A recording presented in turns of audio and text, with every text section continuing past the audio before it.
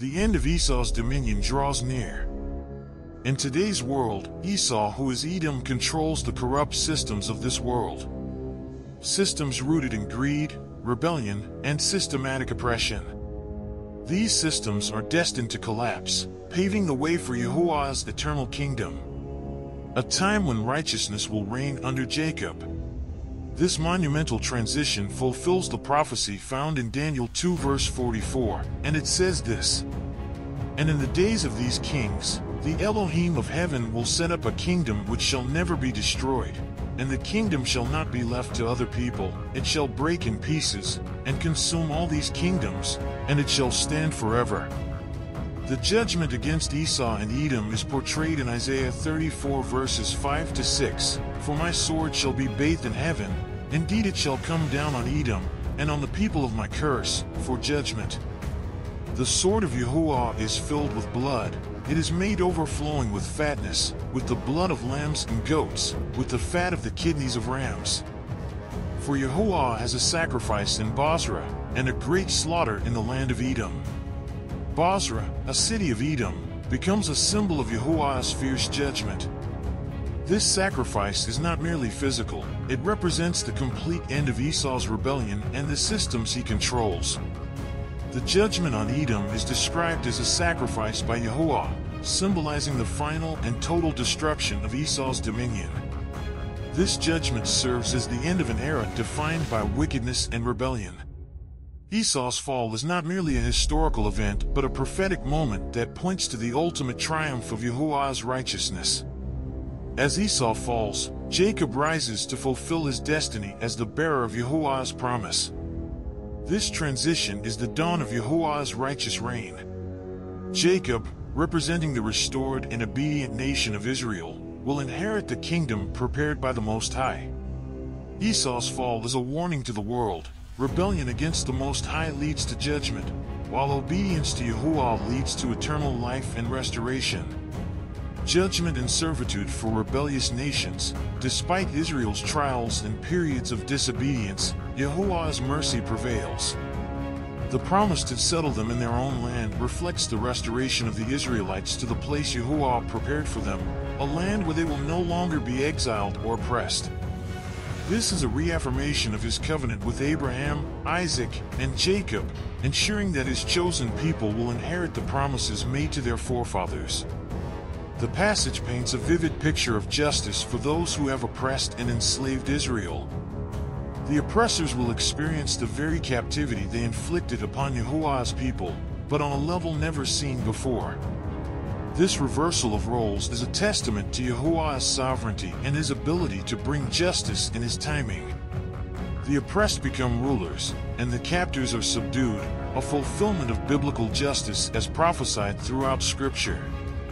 Unlike the cruel oppression Israel faced, this servitude will occur under a system of justice and fairness, governed by Yahuwah's law. However, those who are sold to other nations will suffer at the hand of their oppressors. Jeremiah 30 verse 16, Therefore all those who devour you shall be devoured, and all your adversaries, every one of them, shall go into captivity, those who plunder you shall become plunder, and all who prey upon you I will make a prey. Revelation 2 verses 26 to 27 presents a promise from Yahusha.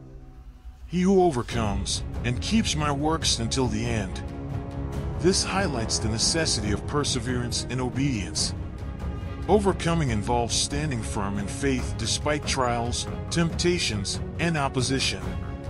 Keeping my works refers to actively living according to Yahusha's teachings and commands, demonstrating faith through action. To him I will give power over the nations. This reflects a reward of authority in the coming kingdom. Those who remain steadfast in faith will be entrusted with positions of leadership and judgment as co-heirs with Yahusha. This is part of the ultimate fulfillment of the promises made to the faithful. He shall rule them with a rod of iron. This phrase signifies strong and unyielding authority. The rod of iron is a symbol of absolute power and justice, showing that the rulership will be firm, righteous, and divinely empowered. They shall be dashed to pieces like the potter's vessels. This alludes to the judgment of rebellious nations and peoples. It evokes imagery from Psalm 2 verse 9, where the Messiah's dominion and power to subdue opposition are foretold. The breaking of the vessels represents the end of defiance against Yahuwah's rule, as I also have received from my Father. Yahusha emphasizes that his authority comes directly from Yahuwah, reinforcing that the overcomer's future power is an extension of the divine order. This assures that the promise is not only spiritual but rooted in the will of the Most High. This passage serves as both an encouragement and a reminder. The reward for faithfulness is significant, but it requires endurance and alignment with Yahuwah's purpose. It assures the righteous of their eventual vindication and authority under Yahusha and the kingdom to come. Baruch 4 verses 33 to 34 For he that brought these plagues upon you will deliver you from the hands of your enemies. This verse reflects the duality of Yahuwah's actions, both as a just disciplinarian and a merciful deliverer. While the Israelites faced plagues and suffering due to their disobedience, this verse reaffirms Yahuwah's promise to restore them. His correction is not permanent destruction, but a call to repentance and eventual redemption. For my hope is in the everlasting, that he will save you, and joy is come unto me from the Holy One, because of the mercy which shall soon come unto you from the everlasting our Savior. The everlasting is the ultimate source of hope and salvation for Israel. This verse emphasizes the faithfulness of Yahuwah to his covenant. Baruch speaks with confidence and joy, proclaiming the mercy that will soon come to the faithful remnant of Israel. This restoration is not just physical but spiritual, bringing them back into alignment with Yahuwah's will. Baruch's message is clear. Yahuwah uses trials to refine his people and demonstrates his justice through the judgment of rebellious nations. The plagues and eventual deliverance are a testament to his righteous sovereignty. Judith 16 verse 17 Woe to the nations that rise up against my kindred, Yahuwah Almighty will take vengeance on them in the day of judgment, putting fire and worms in their flesh, and they shall feel them and weep forever. Judith's proclamation underscores the severity of divine judgment on nations that oppose Israel. This imagery of fire and worms evokes a sense of eternal torment, a fate reserved for those who rebel against Yahuwah and oppress his chosen people. This verse is a chilling reminder of the consequences of aligning against Yahuwah's will. Judith's words remind us of the enduring covenant between Yahuwah and Israel. Her warning stands as a declaration of the Most High's ultimate authority and the assurance that no nation will prosper against his people. Retribution and Restoration Yahuwah's actions are a balance of justice and mercy. While rebellious nations face destruction, Israel is promised mercy and restoration as part of Yahuwah's everlasting covenant. The Most High declared in Malachi 1 verses 3 to 4, and it says this, But Esau I have hated, and laid waste his mountains and his heritage for the jackals of the wilderness.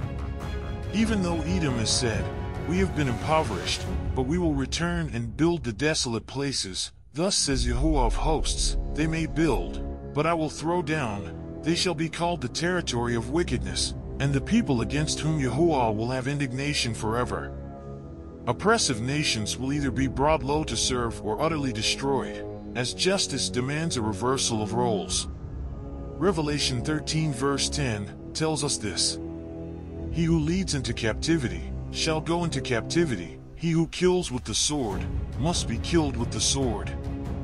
Here is the patience and the faith of the saints, Isaiah 14 verse 2 provides a prophetic glimpse of this reversal, and it says this, Then people will take them and bring them to their place, and the house of Israel will possess them for servants and maids in the land of Yahuwah. They will take them captive whose captives they were, and rule over their oppressors. Soon the tables will turn, and justice will reign as Yahuwah establishes his divine order. Israel's restoration marks the establishment of an eternal kingdom. This kingdom will bring peace, justice, and divine order to the earth. The kingdom will be one of holiness, where Israel shines as the light to the nations and Yahusha reigns as King of Kings. Revelation 21 verse 4, And Yahuwah will wipe away every tear from their eyes. There shall be no more death, nor sorrow, nor crying. There shall be no more pain, for the former things have passed away. Yahuwah's plan will come to completion, and his people, along with the faithful remnant, will dwell in everlasting peace. Please like, share, and subscribe to our channel. May your name be glorified in all the earth. Thank you, Father, for the gift of life. Hallelujah. In the name of the Holy One of Israel, the Messiah, Amen. Father, Amen.